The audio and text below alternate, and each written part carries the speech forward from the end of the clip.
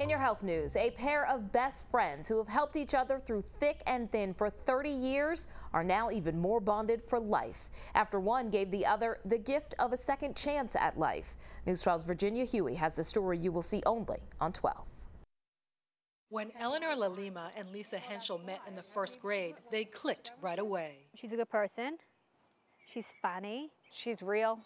She's trustworthy. Over the years, the best friends forged a special bond, sharing the best of times in school, the prom, graduation, weddings, and motherhood. Our friendship was always strong throughout all the years. The pair leaned on that strength when the worst of times hit three months ago. Doctors told Eleanor she was in kidney failure and needed a transplant.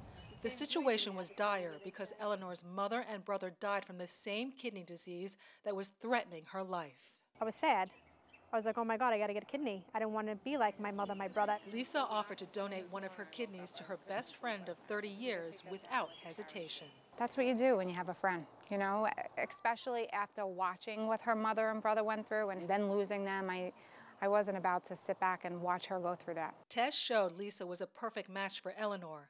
On May 25th, they underwent surgery at Stony Brook University Hospital.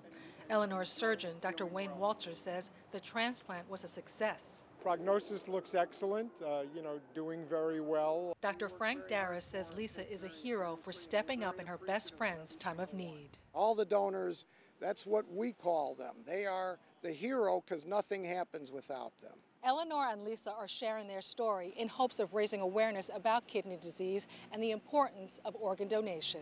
If more people did it, then you know more people would have a better quality at life. Lisa's gift is giving Eleanor a chance to live a full life with her family.